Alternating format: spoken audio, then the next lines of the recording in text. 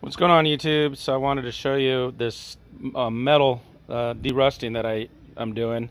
I bought all this metal from a local metal supply place. It's trailer uh, steel tube and you can see I got it. It's about $800 worth of metal or steel uh, that I bought for 200 bucks on a pallet.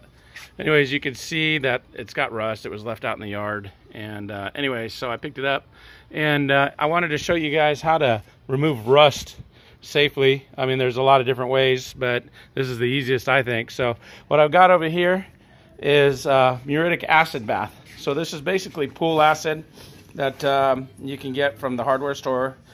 It's about uh, 10 bucks a box for two gallons. So I got six gallons here. So basically I've got the metal sitting in the muriatic acid bath. This is about six gallons. So I basically just used two of the steel um, uh, pieces here to make kind of a well and then I've got some bricks on both ends. So this has been sitting for about 30 minutes, and literally you could see the acid uh, at, uh, removing the um, rust. It actually even flakes off off on the side as gravity pulls the acid down. It's kind of interesting. So I've got 30 minutes on it right now, but what I'm doing is, is making a car trailer. This is an old boat trailer that I had that I hacked up, as you can see. Uh, basically, it had um, the uh, curved steel uh, you can see up ahead there. Uh, but anyway, so, and this is kind of the configuration. I bought a new tongue for it, but this is basically what I'm doing here. So just kind of give you a quick rundown of why, why I'm doing this. But one of the things I want to mention real quickly is that when you're working with acid, of course, uh, you definitely need to have a way to be, be safe, rubber gloves, whatnot. Um, so right here, I've got a bucket of uh, baking soda, probably about a quarter quarter box of baking soda and about uh, two gallons of water so that if I get any acid on anything, I can quickly neutralize it. Um, so, and then as well, what I'm going to do is wash the steel down after you're done with the acid bath. It's really important that you neutralize the acid off the steel. So I'm just taking sponge it down uh, with the water there, the baking soda and water to neutralize it because it'll help prevent the rust from uh, redeveloping.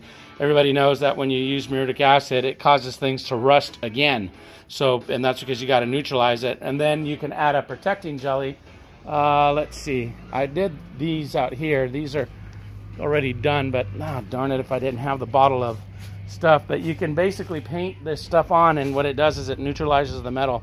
But I, I realized that these two pieces that I did didn't get neutralized on the inside, so that's why I wanted to soak these the other pieces in, in uh, muriatic acid to also clean the inside of the uh, steel and then um, I'll weld it. So there's a protective coating on this right now. You can kind of see it was just a water, and you can buy it whatever. I forget the name of it, but it's um, basically a coating coating product, and it reduces or neutralizes any rust as well. But the problem with that is that if you go to weld, you got to clean it off. So I guess I'll weld first, and then I'll put the the product on. Dang it! I wish I had the bottle. I, uh, see, I'm unprepared anyhow, um, so I just wanted to basically show you uh, my method on what I'm doing. You guys can come up with your own.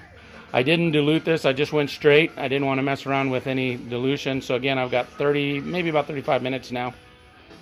And what I'll do is uh, with the rubber gloves, I'll just come and grab it, shove the dowel underneath it, let it drain, and then bring uh, lift this side up and then put this dowel underneath the steel and let it drain. And then uh, I'll take it over here, just wash it out, and then and then I'll, I'll rub it down with the um, baking soda and water. Very important that you neutralize your acid.